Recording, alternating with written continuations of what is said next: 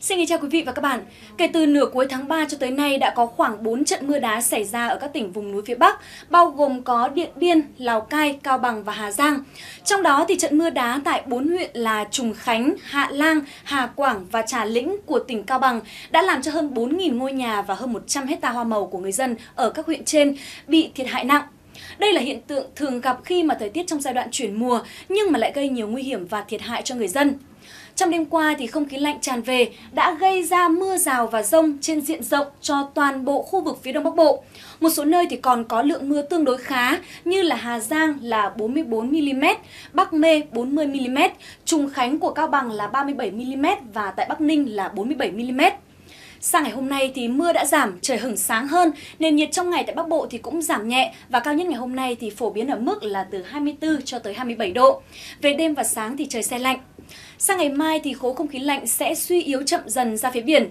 Tuy nhiên thì lại xuất hiện tác nhân gây mưa, đó chính là một rãnh gió Tây trên cao di chuyển từ phía Tây sang phía Đông. Lượng mưa được dự báo là sẽ tập trung chủ yếu ở khu vực phía Tây của Bắc Bộ và vùng núi phía Bắc và chủ yếu là có mưa nhỏ vào đêm và sáng.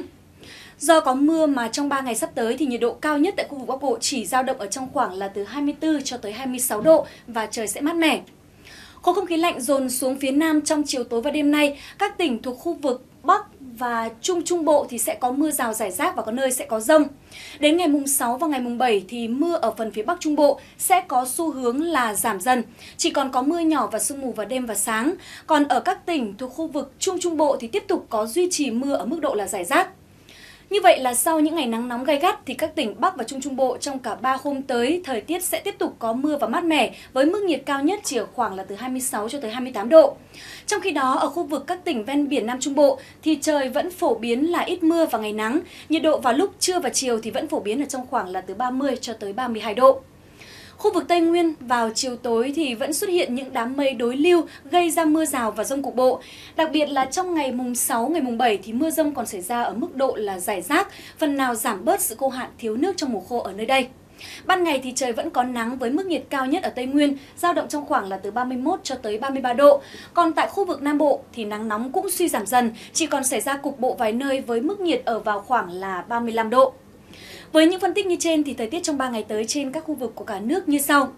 Thưa quý vị, tại khu vực phía Tây Bắc Bộ thì trong 2 ngày tới trời nhiều mây, có mưa rào và rông rải rác, nền nhiệt giảm, cao nhất phổ biến ở mức là từ 25 cho tới 27 độ. Trời xe lạnh vào đêm và sáng. Sang tới ngày mùng 7 thì mưa có xu hướng là giảm dần về diện vài nơi, nền nhiệt trong ngày tăng nhẹ lên ở mức là từ 26 cho tới 28 độ. Với các tỉnh thuộc khu vực phía Đông Bắc Bộ trong 3 ngày tới thì trời cũng phổ biến là nhiều mây, có mưa rào và rông rải rác, tập trung nhiều ở khu vực vùng núi. Các khu vực khác thì chủ yếu là có mưa nhỏ vào đêm và sáng. Ngày mùng 6 và ngày mùng 7 thì nền nhiệt cao nhất ngày tăng dần lên mức là từ 26 cho tới 28 độ. Xuôi xuống với các tỉnh từ Thanh Hóa cho tới Thừa Thiên Huế, trong ngày mai thì tại đây trời vẫn còn nhiều mây, có mưa rải rác, nền nhiệt cao nhất ngày mai dao động trong khoảng là từ 24 cho tới 26 độ. Sang hai ngày là ngày mùng 6 và ngày mùng 7 thì mưa ở phần phía Bắc sẽ giảm, ở phía Nam thì sẽ tiếp tục là có mưa rải rác, nền nhiệt độ tăng nhẹ lên ở ngưỡng là từ 26 cho tới mức là 28 độ. Với các tỉnh thành từ Đà Nẵng trở vào cho tới Bình Thuận trong hai ngày tới thì ở phần phía Bắc của khu vực này có mưa rào rải rác và có nơi có rông. Ở phần phía Nam thì sẽ có mưa ở vài nơi và ngày nắng. Nhiệt độ tối cao phổ biến ở mức là từ 28 cho tới ngưỡng là 30 độ tại các tỉnh phía Bắc và từ 31 cho tới 33 độ tại các tỉnh phía Nam. Sang tới ngày mùng 7 thì toàn khu vực sẽ phổ biến là ít mưa và ngày nắng, nền nhiệt sẽ tăng dần. Với khu vực các tỉnh Tây Nguyên thì ban ngày trời vẫn có nắng nhưng mà đến chiều tối thì sẽ có mưa rào và rông ở một vài nơi. Riêng trong chiều tối ngày mùng 6 và ngày mùng 7 thì có mưa rào và rông rải rác, nhiệt độ cao nhất ngày sẽ dao động ở mức là từ 31 cho tới ngưỡng là 33 độ.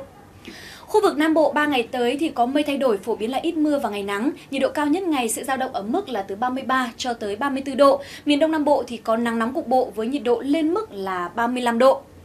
Tại thủ đô Hà Nội, trong khoảng 3 ngày tới thì trời cũng phổ biến là nhiều mây, có mưa rào và rông rải rác, tập trung nhiều ở khu vực vùng núi. Các khu vực khác thì chủ yếu là có mưa nhỏ vào đêm và sáng.